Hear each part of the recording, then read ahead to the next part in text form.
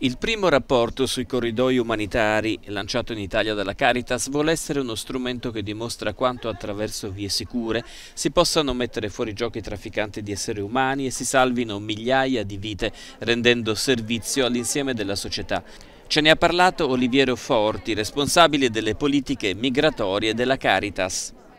Quindi ehm, il corridoio umanitario è formula che eh, convince convince anche l'opinione pubblica, sia usa i detrattori dell'immigrazione sia chi si eh, è in qualche modo dichiarato favorevole. È una modalità che eh, in qualche modo eh, dà quel senso di sicurezza a chi deve accogliere e dal lato dà un'opportunità eh, reale di vita a chi arriva nel nostro paese. Con i corridoi umanitari è un lavoro preventivo che viene fatto sia nella fase di selezione nei paesi di transito, sia in Italia nelle comunità che hanno deciso di accogliere. Eh, la Chiesa italiana e anche altre chiese europee stanno sperimentando questa formula con un intento che è quello principalmente di sensibilizzare l'opinione pubblica e le istituzioni su un tema strategico, che è quello appunto dell'apertura di canali legali di ingresso, che potrà essere efficace solo nel momento in cui i governi decideranno, come governi, di aprire eh, attraverso il sistema delle quote o sistemi che permetteranno non a 100, 200, 300 persone, ma a migliaia di persone, garantendo, come dicono i patti globali sull'immigrazione,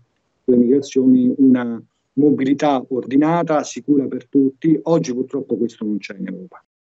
La maggior parte dei migranti attraversano difficoltà estreme, spaventose violazioni dei diritti umani e la crescente minaccia di rimanere intrappolati dalle guerre.